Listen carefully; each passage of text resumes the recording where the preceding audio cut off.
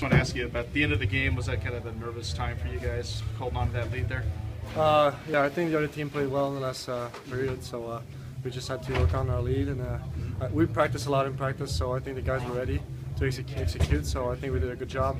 We uh, get away with the win, so that's good. What did you do well when you built the 5-1 lead? Like, what were you guys doing well? Uh, um, just like avoid turnovers, you know, we just put the puck deep, work worked hard, and uh, make the simple plays. Yeah.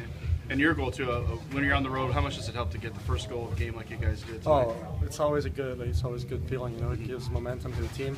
Yeah. So I think it's uh, it's it's big. Yeah. And with the way you've been scoring so far this year, how much confidence do you have when you get a play like that that you can bury it? You know. Oh, I mean, like, yeah, I feel like I feel confident out there, but Yeah. it's not all about the goals, you know. Like, we just gotta make the simple plays. I like to play with Paul Cam and Merce. We, we got a good chemistry out there, so Yeah. it's good. Yeah.